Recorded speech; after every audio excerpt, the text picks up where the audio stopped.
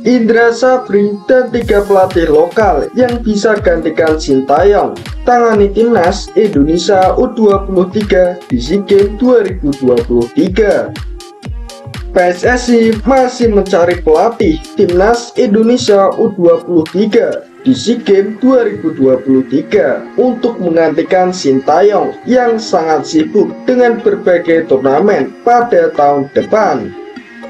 Sintayong tidak dapat memulai timnas Indonesia U23 di SEA Games 2023 karena jadwalnya berdekatan dengan Piala Dunia U20 2023.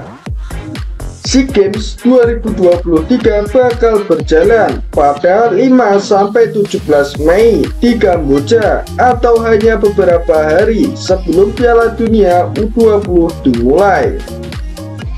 Pelatih asal Korea Selatan ini diprioritaskan untuk melatih timnas U20 di Piala Dunia U20 2023 di Indonesia.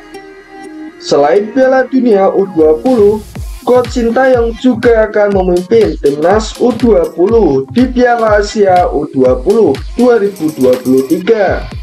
Sintayong pun bakal menukangi timnas senior di Piala Asia 2023 pada 16 Juni sampai 16 Juli 2023.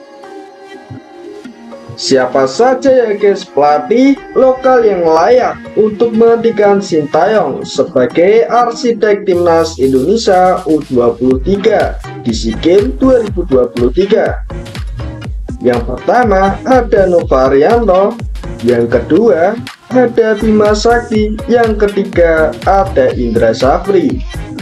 Manakah yang pantas untuk menggantikan Coach Sintayong?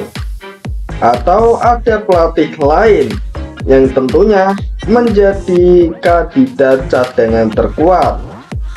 Siapa lagi kalau bukan Fahri Husaini?